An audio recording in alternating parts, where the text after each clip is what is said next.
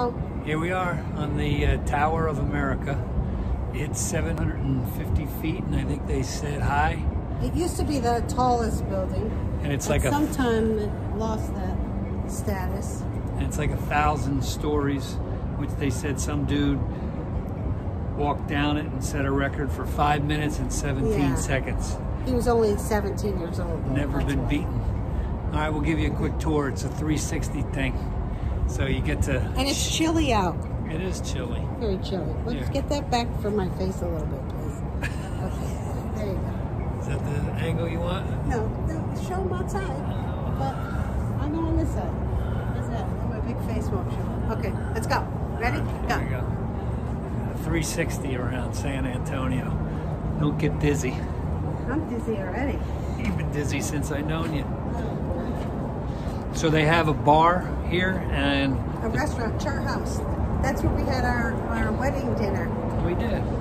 And the chart house rotates around 360 degrees while you're dining. It's kind of slow, so you don't have to worry about getting sick while you're eating your pork chop. pork chop. we might eat here tonight. Yeah, maybe. It's a possibility. So the- take a peek inside. And the tickets that we have allow us to come back at night, so we're the thinking about taking a taking a little doing a little something during the day here, going to a section of San Antonio called Brune. I don't know if I'm pronouncing it right, but it's spelled Stop for a second. okay. Look out there.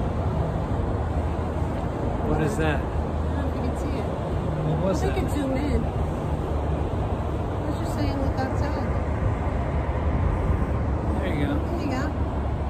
60. See you later. Oh, we're saying see going? you later. Yeah, we're only at about 240 degrees, I think. You gotta go like that. There you go. I am getting a little dizzy. Though. You've been dizzy since I've known you. I think we came back to the same spot. There's the Grand Hyatt. Your little red thing down there. Oh, yeah. That's where the Riverwalk is.